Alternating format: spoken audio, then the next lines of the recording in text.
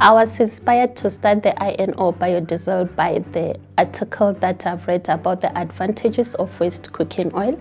And after realizing that many of my peers are losing their jobs during COVID-19, the pandemic, so I was moved to start the INO biodiesel.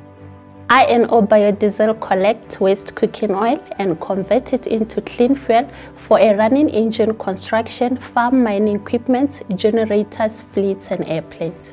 I've always been business minded. I've always wanted to have my own product. Yes, I can say I grew up having an entrepreneurial spirit.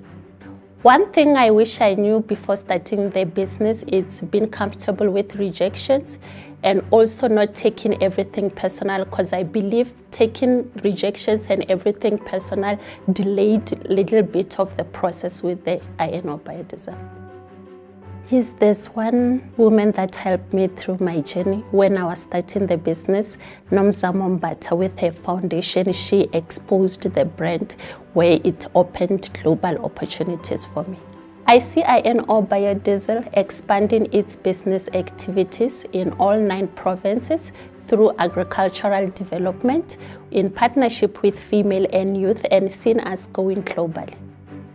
Winning the Santam Women of the Future Award will make a major impact in the business with female and youth in partnership with me and also the team and it will enable us to continue with our work in expanding the activities and the benefits and the impact also in collaboration with young entrepreneurs in South Africa through supply chain.